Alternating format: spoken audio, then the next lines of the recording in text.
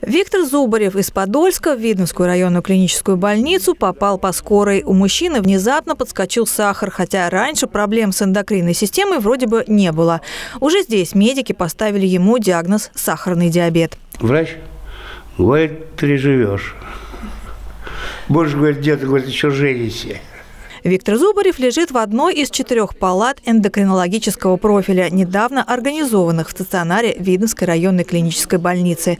Такое мини-отделение может принять до 20 пациентов. Много пациентов с декомпенсацией сахарного диабета, э, немного поменьше пациентов с заболеванием щитовидной железы. А так наше отделение, мое отделение занимается э, всеми заболеваниями эндокринными, в том числе надпочечниковой недостаточностью, э, акромегалией. Осень жаркая, пора пора для эндокринологов из-за сезонного снижения активности населения резко увеличивается количество экстренных пациентов, доставленных по скорой. Это обычно пациенты, которые давно не контролировали свои сахара, многие отказываются от терапии, либо никогда не посещали э, поликлинику э, с множественными уже осложнениями, с диабетическими э, э, полинейропатиями, диабетическими стопами. Медики напоминают, чтобы не доводить доводить до реанимации осложнений больным сахарным диабетом, нужно регулярно посещать эндокринолога и желательно раз в год госпитализироваться планово для обследования, подбора и коррекции лечения.